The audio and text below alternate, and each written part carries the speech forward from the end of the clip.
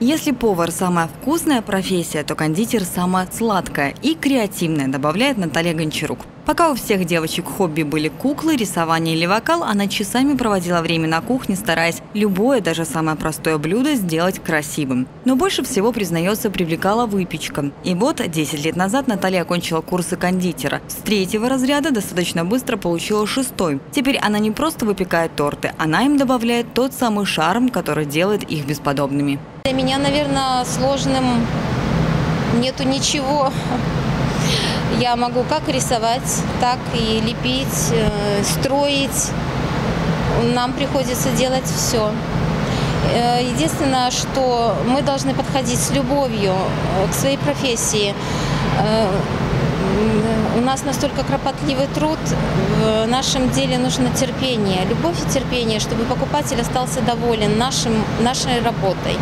За время работы, признается Наталья, она не перестала любить торты, впрочем, как и все сладкое. Стала иначе к ним относиться, но скорее к их декору. Все-таки профессиональную оценку сложно убрать. Тем более она не просто кондитер, а победитель и призер многочисленных кулинарных конкурсов и фестивалей. Из последнего и, пожалуй, самого знакового – серебро на Всемирной кулинарной олимпиаде в Германии в феврале этого года. Она проходит раз в четыре года. Наталья была в составе белорусской сборной, что уже своего рода большая победа. Да и вернулась наша команда с внушением внушительными результатами. 9 золотых, 5 серебряных медалей и 2 бронзы – это больше, чем в прошлую Олимпиаду почти в два раза.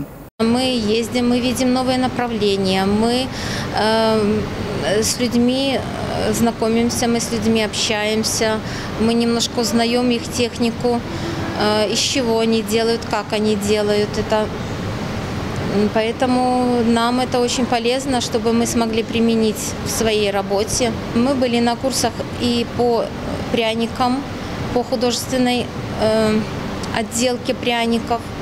Э, также мы были э, на курсах по, э, сахарной, по изготовлению сахарных цветов в английской технике.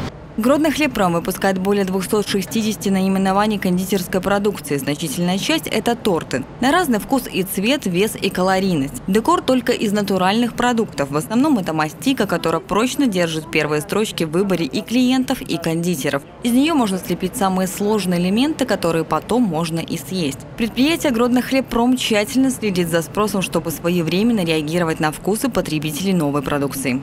У нас есть э, линейка домашних сладостей. Это сладости мучные орешки с вареной сгущенкой на основе натурального сгущенного молока. Шишки с шоколадной начинкой тоже на основе вареного молока сгущенного. Также пользуются спросом сладости мучные удачные зерновой посыпкой, где э, тот же кунжут, арахис и семена тыквы. В этом году у нас были разработаны торты сметано-маковый новый, торт йогурт фреш и шоколадно-малиновый. Это последние наши новинки, которые пользуются спросом.